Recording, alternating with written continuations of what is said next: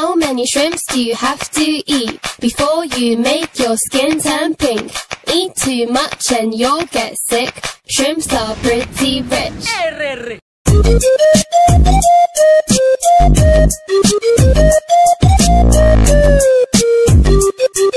Assalamualaikum warahmatullahi wabarakatuh and welcome to my classroom channel.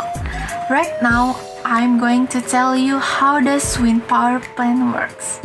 First of all, my name is Dewi Rahayuningrum and I'm from State Polytechnic of Ujung Pandang.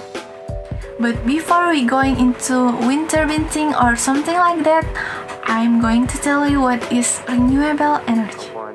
So renewable energy is energy that collected from renewable research, which are naturally replenished on a human timescale, such as sunlight, air, or geothermal heat. So now you know what is renewable energy. The next question is what is power plant?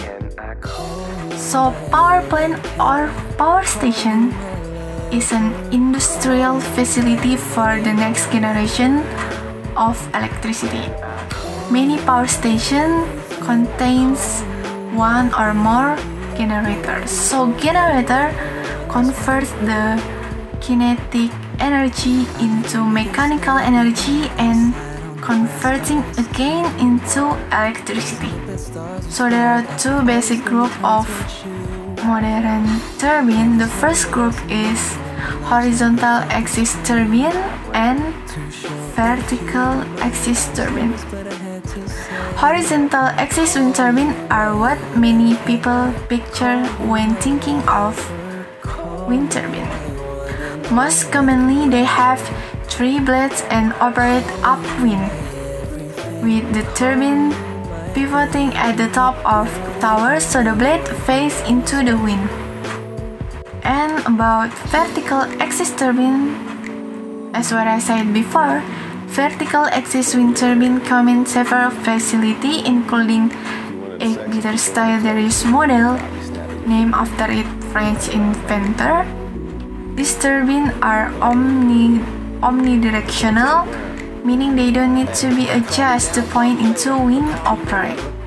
Next thing we should know is the longer blade produce higher annual energy production even with low speed wind. So using longer blade allows more wind energy to be converted into electricity.